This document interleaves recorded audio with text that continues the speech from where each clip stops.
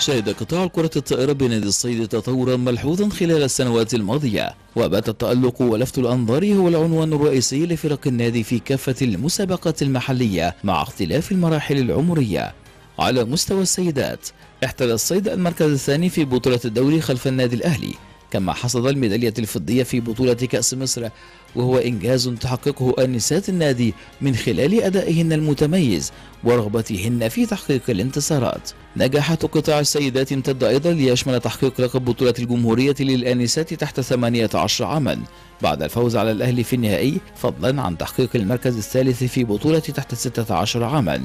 وبيستحق الثناء هو أن كل ما تحقق من إنجازات جاء بدون تدعيمات أو صفقات خارجية. فاللاعبات تخرجن من قطاع الناشئين وتدرجن في المراحل العمرية حتى وصلنا إلى الدرجة الأولى وهو أمر قد يصعب على الكثيرين تحقيقه.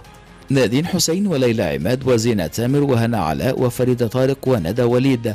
وغيرهن الكثيرات. فتيات قدمن أداء مميزا ونجحن في كتابة أسمائهن بأحرف من نور في سجلات الكرة الطائرة المصرية. وضيفتان الليلة ناديد زعتر وداليا المرشدي. هما أيضا لهما دور بارز في تحقيق تلك النجاحات. بدأت نادين رحلتها مع الكرة الطائرة وعمرها ثمانية سنوات داخل جدران نادي الصيدة وحصدت العديد من البطولات.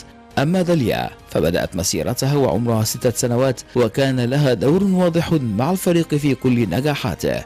مشوار من النجاحات ترافقه آمال وطموحات بالمحافظة على الإنجازات. فهل نرى يوما فتيات الصيد بطلات على من